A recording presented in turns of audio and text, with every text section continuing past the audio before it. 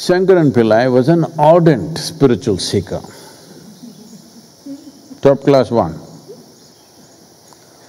And uh, at a young age, he went and started serving his guru every day and full on. No sense of myself, simply giving himself absolutely. Then somebody donated a piece of land, the guru walked about the land and pointed out a particular spot and said, told Shankaran Pillai, you dig a well here, find water. I'm going somewhere else, I have something else to do, I will come back soon. You have the water ready, we will build a temple after I come. Of course, right earnest, even before Guru is walking away, he started digging.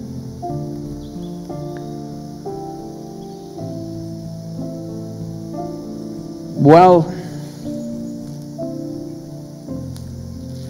then it so happened, within twenty feet of digging in a few days, he found a whole lot of treasure hidden in a metal pot. He picked this out and uh, the guru no sign of him. Days, he, he sincerely kept it for Guru to come and decide what to do. Of course, he forgot about the water. Like a lot of people have forgotten about these things, now the virus is reminding them. They stored up all the wrong things. so, he kept the treasure safe, but forgot about the water and waited for the Guru. Every day he looked out no sign of that man. Weeks, months, years passed. Five years later, the Guru came back.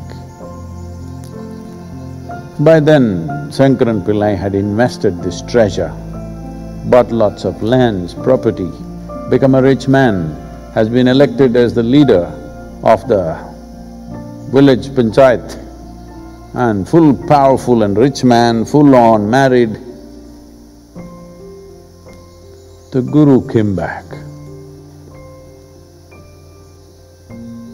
Then, uh, oh my God, the most unwelcome. then the guru came and said, what happened to the well? You have… you found water? He said, no, I found treasure. Really, Sadhguru, I waited for sixty days for you. You didn't turn up. Sixty days I waited. But then I invested, I bought land, I bought property, and now I'm a leader and I'm well-to-do, I'm married. That's okay, but now you have a lot of money, let's build a temple anyway. And above all, you wanted to be initiated into the path, let's do that and build the temple. Shankaran Pillai said, no, you're five years too late. At that time, I was ready, absolutely, because I had nothing. now all this has happened and now you're saying you're going to initiate me? No, So this is what Allama said, that uh, there's lots of vairagya when people have nothing. The moment they have something, it'll go to their head, they don't understand. Uh, things are there, we need, we need to use them. Well, if only people understood that there is no way there is simply no way to enhance one's life with anything other than clarity of life.